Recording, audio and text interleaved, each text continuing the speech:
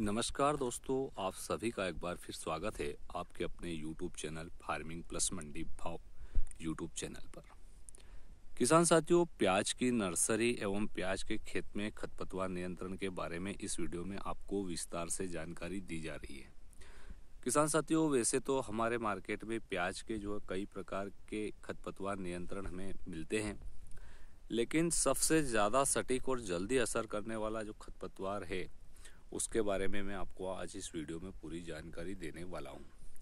किसान साथियों, इस चैनल पर कई बार जो है कृषि संबंधित अन्य कई सारी जानकारियाँ दी जाती है।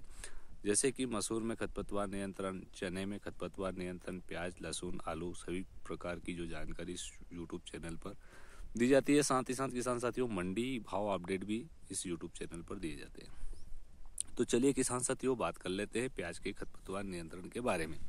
उससे पहले सभी किसान मित्रों से मेरा निवेदन है कि आप यूट्यूब चैनल को ज़रूर सब्सक्राइब कर ले, पास आई घंटी के निशान को दबा ले ऑल के बटन को सिलेक्ट कर ले ताकि आने वाले वीडियो के सारे नोटिफिकेशन आप तक पहुँच सके।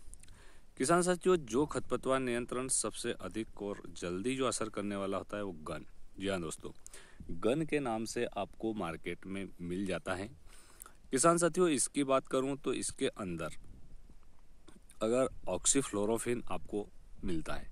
ऑक्सी फ्लोरोफेन पैंतीस पॉइंट पाँच ईसी में जो है, इसके अंदर जो है फार्मूले की दवाई हमें मिलती है। किसान साथियों, बात करूँ इसके डोज की तो 15 लीटर की पंप की टंकी में हमें इसे जो है 8 से 10 एम ही छोटी अवस्था में जिस प्रकार खरपतवार हमें दिखाई दे रहा है, उस अवस्था में हमें इसको लेना है। किसान साथियों, इसकी सबसे बड़ी खासियत यही है कि ये सबसे जल्दी जो है सटीक असर दिखाता है और अच्छे से जो है खरपतवार नियंत्रण कर देता है। किसान साथियों, कहीं ना कहीं आपको जो है मार्केट में कई प्रकार के और भी अन्य प्रकार के जो है, खरपतवार नियंत्रण मिलते हैं। लेकिन दोस्तों, इसका एक और रिज़ल्ट ये अच्छा है कि जो हमारे प्याज की जो फ़सल रहती है, हमारी जो क्यारियाँ रहती है, या प्याज की जो फ़सल रहती है, उस पर इसको जो है, काफ़ी कम असर हमें देखने को, वैसे तो असर देखने को मिलता ही नहीं है, लेकिन इसमें सबसे जो है, कम असर देखने को इसी दवाई में मिलता है।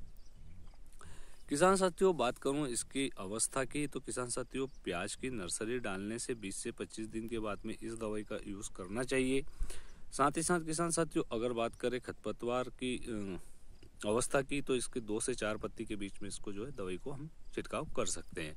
साथ ही साथ किसान साथियों, इसकी जो नमी की अगर बात करूँ तो किसान साथियों, इसको नमी में ही जो है हमें स्प्रे करना रहता है।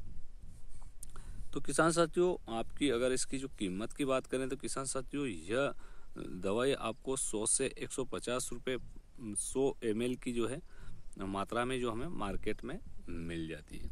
तो किसान साथियों, यह जानकारी आपको कैसे लगी, कमेंट बॉक्स में अवश्य बताएँ। कोई अन्य जानकारी प्राप्त करना चाहते हैं तो कमेंट बॉक्स में लिखकर अवश्य डालें। इसी के साथ सभी किसान मित्रों को जय हिंद, जय जवान, जय किसान।